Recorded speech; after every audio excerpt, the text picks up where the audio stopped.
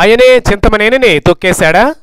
ఏపీలో ఈ ఎన్నికల్లో కొన్ని హాట్ హాట్ నియోజకవర్గాల్లో ఏ పార్టీ గెలుస్తుంది అన్నది స్టేట్ వైడ్గా ఇంట్రెస్టింగ్ టాపిక్గా మారింది. అధికార పార్టీలో మంత్రులుగా ఉన్నవారు సీనియర్ నేతలు విపక్ష పార్టీ కీలక నేతలు పోటీ చేసిన నియోజకవర్గాల్లో విపక్ష పార్టీల నుంచి బలమైన ప్రత్యర్థులు ఉన్నప్పుడు అక్కడ గెలుపోటములు ఎలా ఉంటాయో అన్నది ఆసక్తికరంగానే ఉంటోంది. ఇలాంటి హాట్ హాట్ నియోజకవర్గాల్లో పశ్చిమ గోదావరి జిల్లాలోని దెందులూరు నియోజకవర్గం ఒకటి. టీడీపీలో వరుస వివాదాలకు కేంద్ర బిందువుగా ఉన్న ఆ party MLA whip Chintamaneni Prabhakar Rao ఈ నియోజకవర్గం నుంచే ప్రాతినిధ్యం వహిస్తున్నారు. గత రెండు ఎన్నికల్లోనూ టీడీపీ నుంచి దెందులూరులో వరుస విజయాలు సాధిస్తున్న ప్రభాకర్ వరుసగా మూడవసారి పోటీలో ఉన్నారు.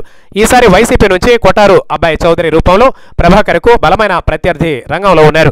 ప్రభాకర్ రెండవసారి ఎమ్మెల్యేగా గెలిచాక విప్ పదవి రావడంతో తన ఇష్టారాజ్యంగా వ్యవహరించారు. నియోజకవర్గంలో విపక్ష పార్టీ నేతలను తీవ్రంగా అణచివేయడం ఒక ఎత్తు అయితే ఇటు సొంత పార్టీ నేతలు సైతం తీవ్రమైన అవమానాలకు గురి చేశారని ఆ పార్టీ నేతలు ఆపుతున్నారు. ఇటు ఐదేళ్ళలో నియోజకవర్గంలో తనకు అడ్డు వచ్చిన అధికారులపై దాడులకు దిగిన విషయం రాష్ట్ర వ్యాప్తంగా సంచలనం రేపిన సంగతి తెలిసిందే. పార్టీలో ఎంత సీనియర్ నేతలైనా ప్రభాకర్కు ఎదురు చెప్పే ధైర్యం లేక నాలుగు సంవత్సరాలుగా తీవ్రమైన మనోవేదనకు గురయ్యారు.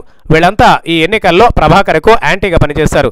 దెందులూరు నియోజకవర్గంలో గత కొన్ని దశాబ్దాలుగా కమ్మ సామాజిక వర్గం రాజకీయంగా తన ఆధిపత్యాన్ని కొనసాగిస్తూ వస్తోంది. నియోజకవర్గంలోని ప్రతి పల్లెలోనూ పార్టీ ఏదైనా పెత్తనం మాత్రం ఈ సామాజిక వర్గానిదే. ఈ ఎన్నికల్లో ఈ సామాజిక వర్గంలో మూడు వంతుల మందికి పైగా కీలక నేతలంతా ప్రభాకర్కు వ్యతిరేకంగా పనిచేశారు. కమ్మ సామాజిక వర్గానికి చెందిన టీడీపీ కీలక నేతలు కూడా కొన్ని గ్రామాల్లో ప్రభాకర్ చేతిలో అవమానాలకు గురయ్యారు. వీరంతా ఎంపీ ఓటు మాగంటి బాబుకు వేయాలని ఎమ్మెల్యే ఓటు మాత్రం ప్రభాకర్కు వేయవద్దని పార్టీ కేడర్కు చెప్పడం ద్వారా పరోక్షంగా వైసీపీకి సహకరించారు. గత రెండు ఎన్నికల్లోనూ దెందులూరు నియోజకవర్గంలో టీడీపీ పరంగా క్రాస్ ఓటింగ్ జరగలేదు. ఈ ఎన్నికల్లో చింతమనేనిని తీవ్రంగా వ్యతిరేకిస్తున్న కమ్మ సామాజిక వర్గం తమ అనుచరులతో చాలా వరకు మాగంటికి అనుకూలంగా క్రాస్ ఓటింగ్ వేయించింది. అయితే ఈ క్రాస్ ఓటింగ్ ప్రభావం ఎంతవరకు ఉందన్నది ప్రస్తుతానికి పూర్తిగా తెలియకపోయినా దీనిపై భారీ ఎత్తున చర్చలు నడుస్తున్నాయి. క్రాస్ ఓటింగ్ నేపథ్యంలో చింతమనేని ప్రభాకర్ కంటే మాగంటి బాబుకు ఎక్కువ ఓట్లు వస్తే రగడ చేయడానికి చింతమనేని కాచుకొని కూర్చుని ఉంటాడు. రేపటి ఫలితాల్లో ప్రభుత్వం వచ్చి చింతమనేనికి మాగంటి కంటే ఓట్లు తగ్గితే ఏ ఏ గ్రామాల్లో తనకు ఓట్లు తగ్గాయి? ఆ గ్రామాల్లో తమ పార్టీ కార్యకర్తలు నేతలపై చింతమనేని తీవ్రంగా విరుచుకుపడతాడనడంలో ఎలాంటి సందేహం లేదు.